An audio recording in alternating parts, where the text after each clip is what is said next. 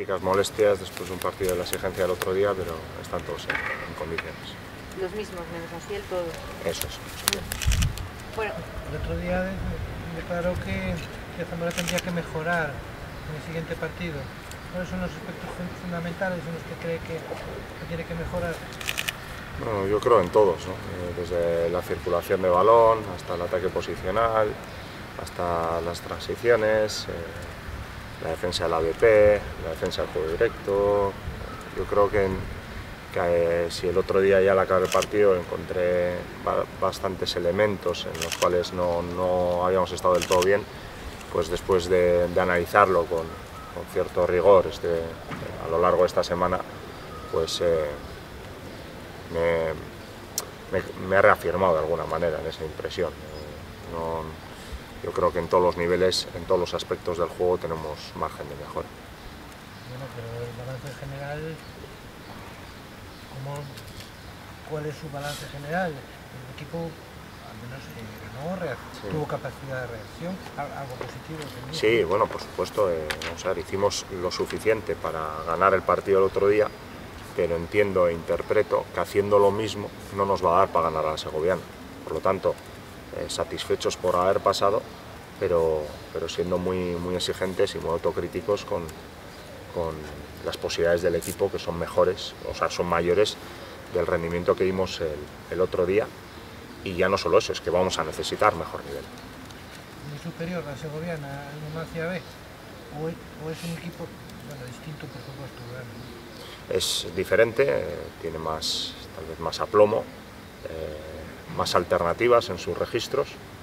Es un equipo, bueno, desde febrero ya jugando muy, muy directo, te, lleva el partido a, tu campo y, ahí tiene jugadores con mucha calidad y, buenos recursos.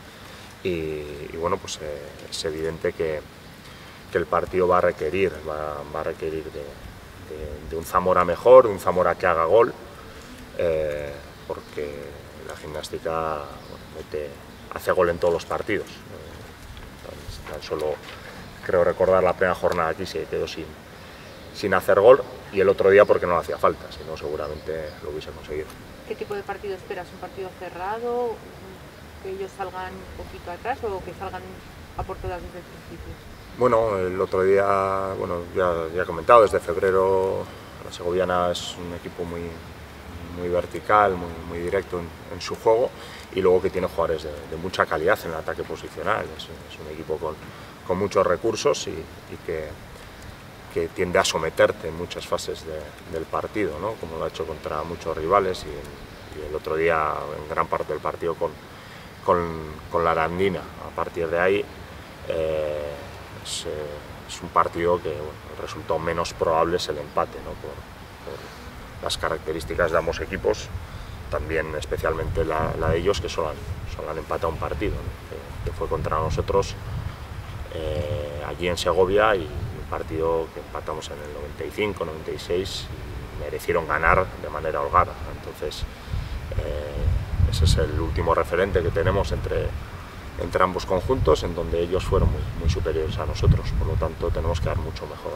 una mucha mejor versión de lo que hemos dado. ¿Crees que va a ser un partido muy diferente al del sábado pasado? Digo, respecto al, al rival. Sí, sí, sí.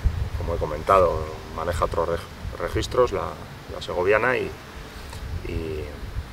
es un equipo más, más potente, si cabe, y más hecho que, que el filial de Numancia, sin duda. David, el otro día se pudo ver en el Segoviana e Arandina que también es un equipo eh, muy rocoso, eh, bastante potente, pero que cometió algún error atrás. ¿Crees que eso juega a favor del Zamora sabiendo que el empate también le sirve al Zamora y que la Segoviana tendrá que salir un poco más arriba?